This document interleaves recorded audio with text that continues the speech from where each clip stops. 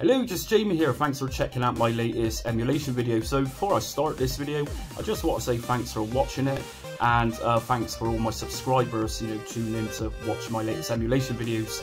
I do a range of different videos on my channel, music, tuition, obviously emulation, tuition, gameplay and modern games, so everything. So I need your support to upgrade the channel as it were. I need new microphones, I need new backdrops, I can't keep going on using this. So I need a lot of stuff to enhance my channel to make it so much better. But anyway, uh, check out links in my description and enjoy the video. Take care.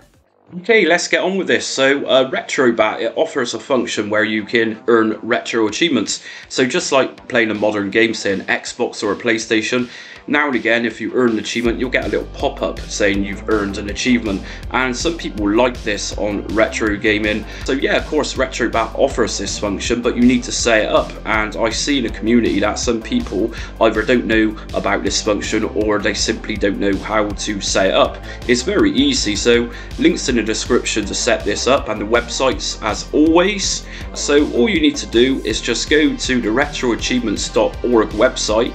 You need to register and log in. It's that simple. Once you signed up with Retro Achievements, you've also got a community and a forum index and not every game is going to support these little achievements so just be aware of that. Uh, it's mainly going to be the more popular games but I'll leave that with you to take a look at the forum community and everything else on the website so you can see what's what and you know a little bit more about what retro achievements have to offer.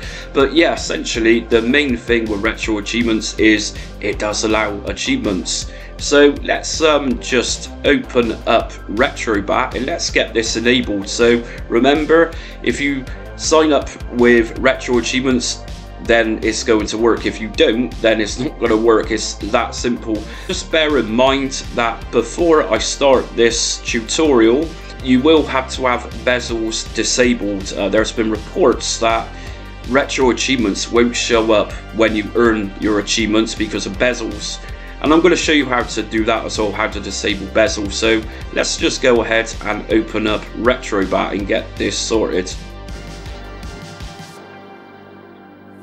Okay, so just be sure that you've actually logged in and you've registered with Retro Achievements. You should receive an email from them just to sign up and complete the process. So once we're in RetroBat, let's just enable Retro Achievements. So I'm going to press Start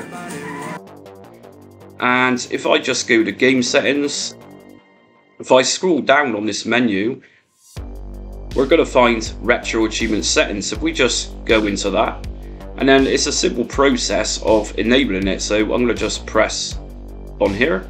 And of course, you're going to need to put your own username and your own password in it.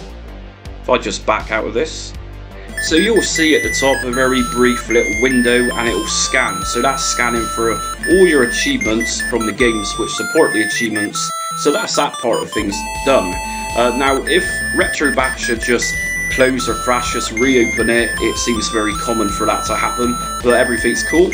So there might be times when you've just earned an achievement but it doesn't display. So this is down to bezels. So disable bezels all we need to do is go into the system itself and if I press start all I'm going to do is just go down to game settings and I'm going to go to decorations and I'm going to make sure decorations is set to none.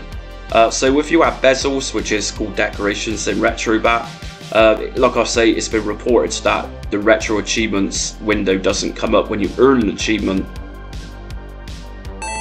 So it really is that simple to set up retro achievements using RetroBat. Like I said, once you've enabled retro achievements, if RetroBat shuts down and it crashes, open it up again and it works perfectly. And enjoy your retro earning achievements. I hope this helps someone out there. And of course, if you've not checked out my channel, check out my channel for other RetroBat videos, installation videos, and customization videos for RetroBat. Always hit the notification bell. I upload very frequently. Until next time, take care.